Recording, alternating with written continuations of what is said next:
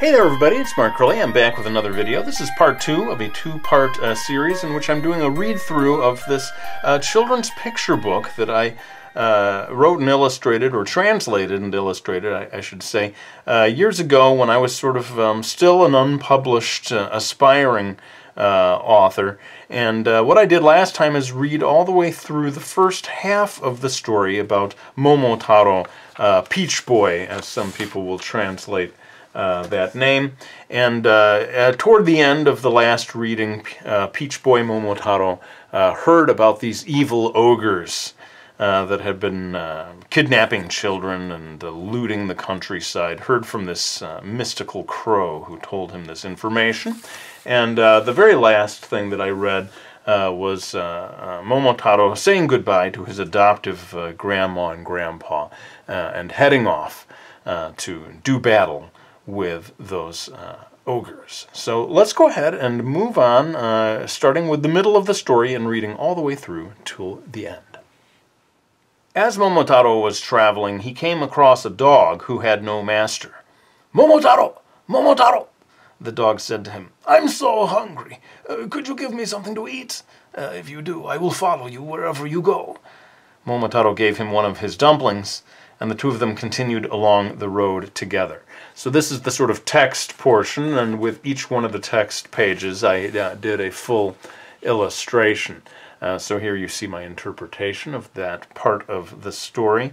Um, kind of interesting. It seems like I used a dried out brush here with just a little bit of um, gray paint in it to add a little texture to the um, illustration. But I guess I was conscious of trying to match the, uh, the two parts, you know, so I added these little uh, red leaves, um, Japanese maple leaves to, uh, to kind of pull these two different uh, pages together. Well, let's keep going on to the next page.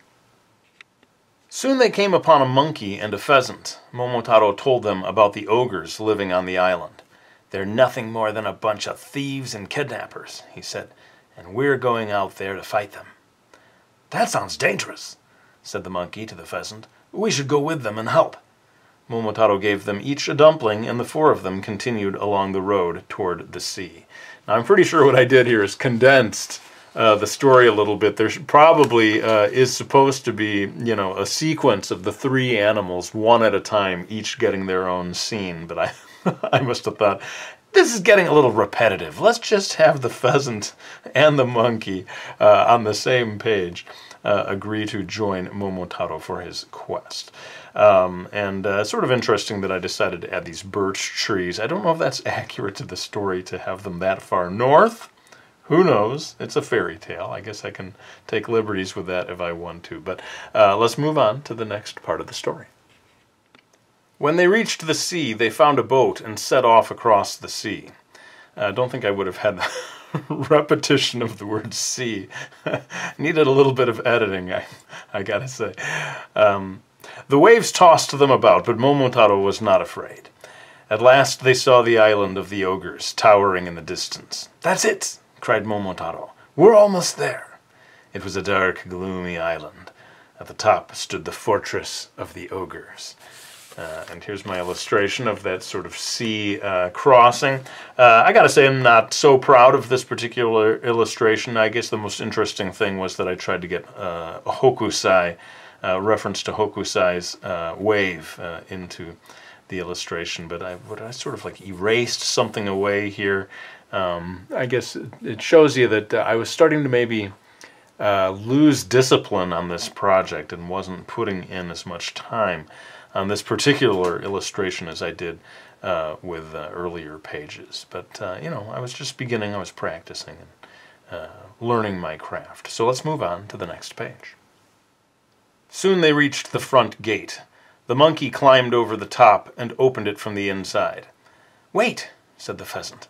I'll fly up and have a look in one of the windows. The pheasant returned, explaining that the ogres were in the middle of a great feast gobbling up all the food they'd stolen from the villages. Now's our chance to catch them by surprise, cried Momotaro. Now, I can't guarantee that some of this stuff is in the original story. I think I really did start to uh, take liberties with uh, turning it into an action adventure story. I got to give the monkey something to do. I'll give the pheasants a little moment to contribute. Um, not sure. The, some of you out there might know the Momotaro story, the original. Uh, you can tell me if I was accurate uh, in, or just making things up at that stage. This one, I think, may be even worse than the previous illustration. Not a lot to recommend uh, about it, but um, again, that's you know, it made me realize that um, children's picture books are harder to do than you think, and that uh, every illustration really needs to be top notch, and you, you got to be careful that you don't start to, you know, lose gas as you go along. All right, let's continue to the next page. When they reached the room where the ogres were having their feast, Momotaro led the way.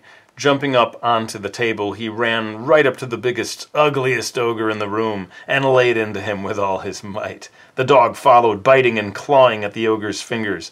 Next came the monkey and the pheasant, scratching and pecking at his face. Not so sure about this sword, looks more like a European sword. Come on, Crilley do your research. Should have had a Japanese sword there for Momotaro. I think I started to revive a little bit, uh, and uh, I would say that this is um, this illustration is better than those last two. Maybe a little more uh, up to the standards that I set uh, in the first half of the book. So yeah, I'm, I'm kind of pleased with that. You can tell I really was trying to turn it into a big Hollywood movie. And just for scale, you know, you can see the size of the fish and the rice and pumpkins, I guess those are uh, to show you just how huge these ogres are in my interpretation. All right, we're getting closer to the end. Let's keep going. Before long, the big ogre was flat on his back, with tears running down his face. I'm no match for you, he cried. I give up. Don't hurt me any more.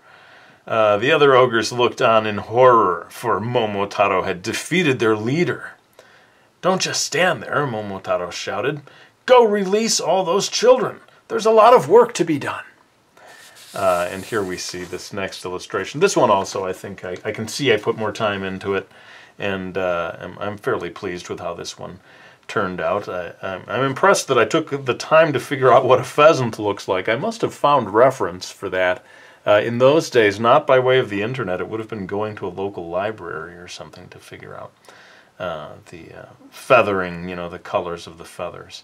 Uh, and look at these gigantic teardrops rolling down the face. Uh, the monkey looks very pleased with how things have turned out. We only have one more page to go, so let's get on to it. And so the children were all set free, and Momotaro made the ogres promise that they would never do anything bad again.